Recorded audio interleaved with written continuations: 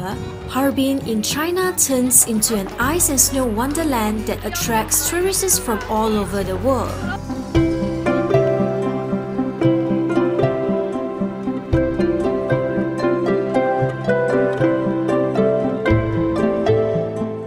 The artistic creations carved out of snow and ice blocks simply take visitors' breath away.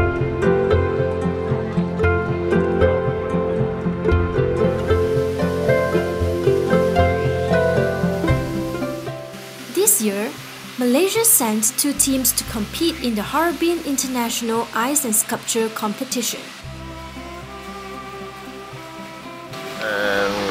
Our our team for this year is a, a big catch.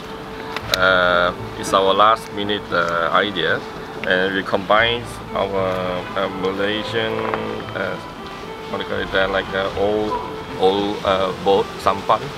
Uh, it's from Terengganu, and and with a fish net and uh, a fisherman caught a big fish in the Mali. The team caught a prize indeed. Their sculpture won the third prize in the contest.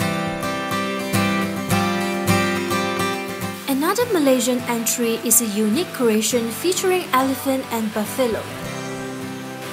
It's an image of the two two animal. One is elephant and one is buffalo. If you see from this side, it will show the image of the elephant. If you see from the other side, it will see the image of the buffalo. But the head is one. Armed with background in culinary art, they are experts in carving ice, vegetables, and fruits.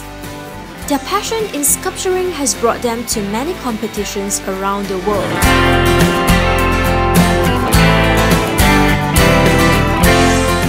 Tourism Malaysia's Beijing office director Noran Ujang says the Malaysian team's sculptures will help introduce Malaysia to the world.